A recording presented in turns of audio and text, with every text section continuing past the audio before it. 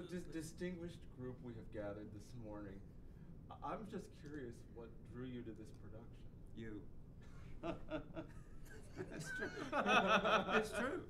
That's funny. Mine is you, so it's good. Is that right? yeah, so it's good. Emma? Me. Oh, perfect.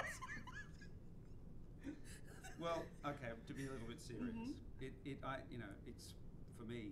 Uh, it has been a, a, a favourite of mine. There are three people ask me often, "What are your favourite musicals?" And um, for me, really, it's it's um, Secret Garden, Don Quixote, uh, Man of La Mancha, and uh, My Fair Lady. And I think there's something about particularly Quixote and, and uh, Higgins.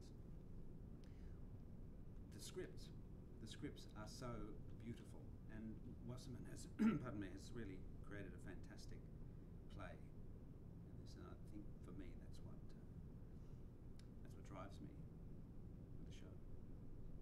What about you, Nehal? I was told I'd be paid in ice cream sandwiches.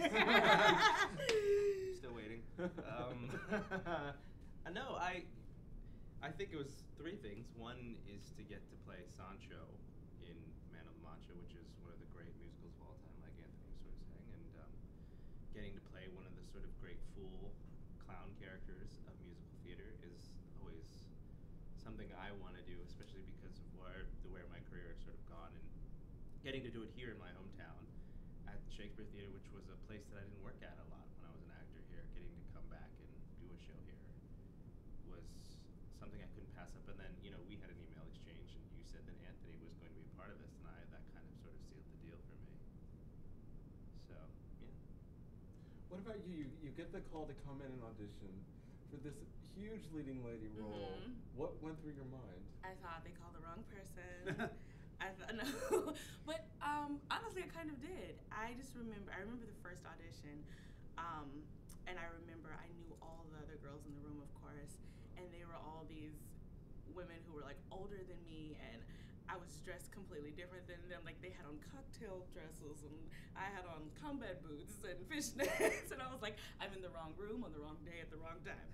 and but I was excited about just the opportunity to get to play with you in the room. Like I thought, I'm just gonna have a really cool audition, and I'm gonna work hard, I'm gonna have fun. Like I, I, I so thought I wouldn't even be considered for it because it's just not something. It's not the type of role that kind of rolls across my desk often.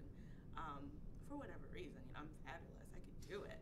But no, it's just these opportunities don't come to a you know 27 year old brown girl every day, and so I was really excited about the challenge of it all, and you know, audition and callback and callback. I got more excited, and I was like, this could really happen, and role was so juicy, and working with you was so great, and I, I was just excited to just even be given the chance. So when it all kind of worked out, I was I was honored more than anything. You know, I was really excited, and I couldn't wait to to kind of dive into this whole thing. I remember the end of the, the audition and when we hugged each other, and I felt we felt like we had been through something together. we had together. really been through something. It was great. and you learned the whole, the whole role also. It was Yeah. pretty incredible. Yeah. There, there was before Amber and after Amber, as far as I'm concerned. I mean, really, that you came in and it was like, oh my god.